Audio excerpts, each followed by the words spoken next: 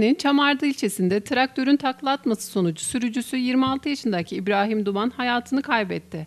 Kaza Yelatan Mazmalı Yaylası'nda meydana geldi. Çamardı ilçesine bağlı Yelatan köyü Mazmalı Yaylası'ndan İbrahim Duman'ın kullandığı 51 DZ 499 plakalı traktör sürücüsünün direksiyon hakimiyetini kaybetmesi sonucu takla attı. Çevredeki vatandaşların ihbarı üzerine kaza yerine sağlık ve jandarma ekipleri sevk edildi. Sağlık ekipleri takla atan traktörün altında kalan sürücünün öldüğünü belirledi. Jandarma kaza ile ilgili soruşturma başlattı.